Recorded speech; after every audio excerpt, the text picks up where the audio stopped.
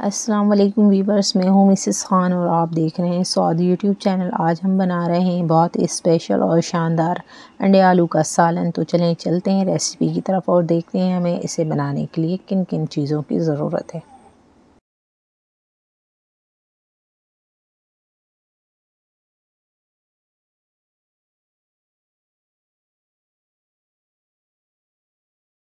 अंडे लिए हमने छः अदद अंडों को हमने पहले ही उबाल कर रख लिया था।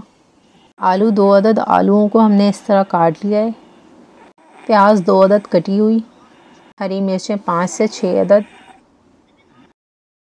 टमाटर दो अदद कटे हुए, कुकिंग ऑयल हमें चाहिए हाफ़ कप, हल्दी हमें चाहिए वन फोर टी स्पून लहसुन, अदरक का पेस्ट वन टेबल स्पून पीसी मिर्च वन टी स्पून पिसा धनिया वन फोर टी स्पून नमक हसब ज़ायका, गरम मसाला वन टी स्पून हरा धनिया वन टेबल स्पून सबसे पहले हम एक कढ़ाई ले लेंगे फ्लेम ऑन करेंगे और तेल डालेंगे।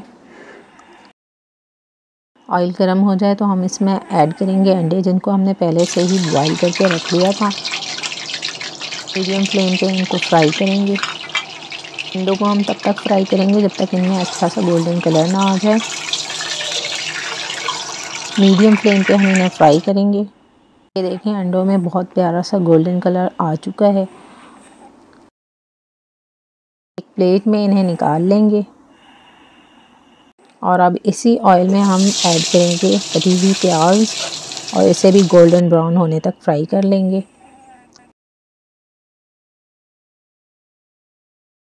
प्याज हमारी गोल्डन ब्राउन हो चुकी है। अब हम इसमें से आधी प्याज एक प्लेट में निकाल लेंगे, जिसको हम पीस के ऐड करेंगे।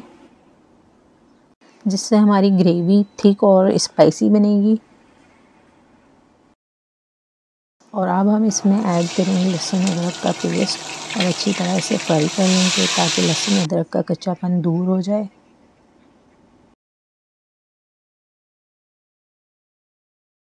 हल्दी ऐड करेंगे। धनिया पीसी मिर्च और इसे मिक्स कर लेंगे। और अब हम इसमें ऐड करेंगे कटे हुए टमाटर, हरी मिर्चें। तमाम मसाले ऐड करने के बाद अब इसे अच्छी तरह भून लेंगे ताकि टमाटर अच्छी तरह गल जाएँ। आधा कप इसमें हम पानी ऐड करेंगे ताकि मसाले अच्छी तरह भून जाएँ और टमाटर भी अच्छी तरह गल जाएँ। ये देखें, टमाटर हमारी अच्छी तरह गल चुके हैं और मसाला अच्छी तरह भून चुका है। हम इसमें ऐड करेंगे कटे हुए आलू। और अब हम इसमें ऐड करेंगे नमक, पिसी हुई प्याज। आलू, नमक और प्याज ऐड करने के बाद इसे अच्छी तरह भून लेंगे। और अब हम इसमें ऐड करेंगे उबले हुए अंडे जिनको हमने फ्राई करके रख लिया था, वो ऐड करेंगे।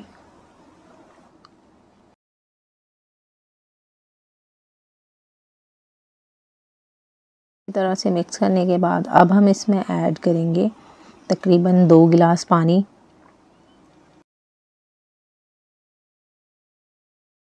पानी ऐड करने के बाद हम इसे पकाएँगे तकरीबन पाँच से दस मिनट ढककर लो फ्लेम पे आलू गलने तक।